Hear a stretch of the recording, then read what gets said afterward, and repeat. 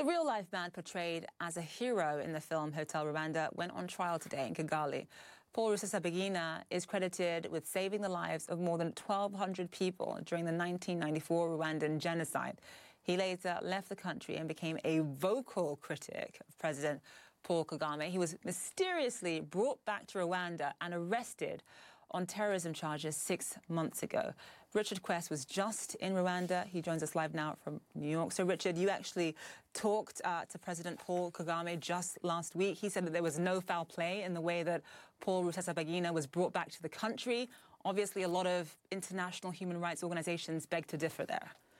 Oh, absolutely. I mean, the man thought he was getting on a plane going to one place, and he was then uh, shackled and tied up and taken to Rwanda, uh, if the story is as it's believed to be, uh, where he was then wanted for terrorist activity that the president says uh, he, um, was involved in.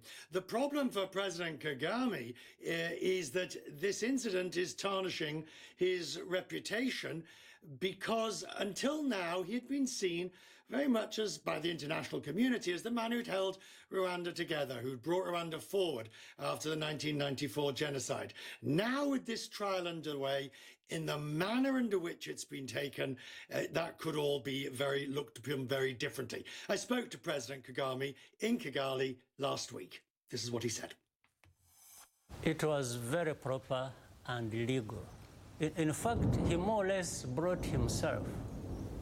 You see, whether he was acting on wrong signals, but he, he, he went by those signals to continue the journey of doing the wrong things he had been doing in the past. So I, he I got on a plane intending to go to one destination.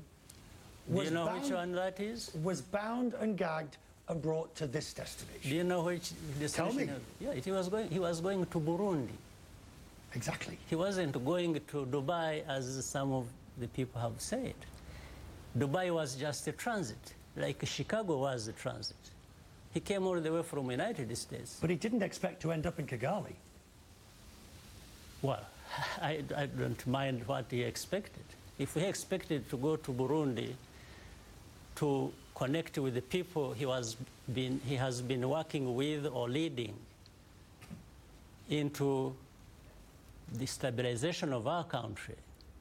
What, what sympathies do I owe him or anybody? Did the government of Rwanda have a hand in bringing him to Kigali? Did you, was the government responsible for renditioning him to Kigali? No, no, no. Bringing him or guiding him to come to Kigali and rendition or means like that that seem to be illegal are totally different things. Absolutely. Now, if somebody, if for him he was working with somebody in Burundi, right, in the same plot of destabilizing our country, and the same person, for example, decided to drive him to Kigali, the person he was working with and he had trusted. And the government was working with that person he trusted. How does government become culpable for that operation? It's the rainy season in Rwanda. We could hear the storm approaching above us. And when the clouds finally broke, it was time to pause, to reflect. And after nearly an hour of waiting, we resumed the conversation. The international community fears that, if I permission to speak bluntly, that, you know, Kagame wants him convicted, rubber stamp court, lock him up and throw away the key. What guarantees can you give today of a fair trial? All those concerns uh, can't be further from the truth. Uh, one, Rusesabagina a citizen of this country was done something terrible wrong, committed a crime. I have heard that he has he holds other citizenships of other countries. That's okay. I have no quarrel with that. He certainly did something wrong. And by the way, he is accused with a number of other people. So he's not alone in this uh, case that he's been being tried for. So that, that, that is also clarity that must be put forward. So taking him out of that and treating him differently and special, that's, that's not going to work. So the case is going to court, all these people being tried. And it is important that there is a fair trial. Paul Kagame has been president of Rwanda since the year 2000. The country's constitution has already been amended to allow him to serve more terms. Human Rights Watch claims that opposition figures are persistently targeted.